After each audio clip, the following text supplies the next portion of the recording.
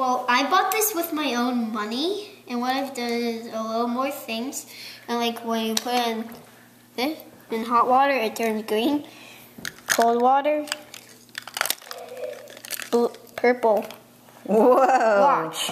Like when you use a paintbrush, you can get really creative.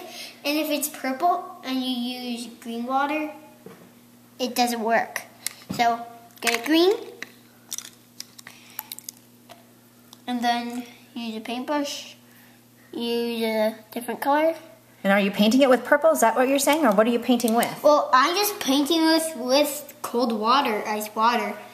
That's it's a it's how they made it. So ice water turns the car Purple, and warm water turns the car. green. And how much did this cost? Three dollars. Are you happy with your purchase? Yeah. Have you play, been playing with it all afternoon? Yeah. What else have you been doing with that car? Well, making designs. Oh yeah, show me that. What's it called? It's um it's a little shifter thing. But what is the car called that you purchased today? Roadway to raceway. Remember what it's called though? It's Hot Wheels. Hot Wheels color shifter, but they, they named this Hot Wheels color shifter mm-hmm. Roadway to Raceway.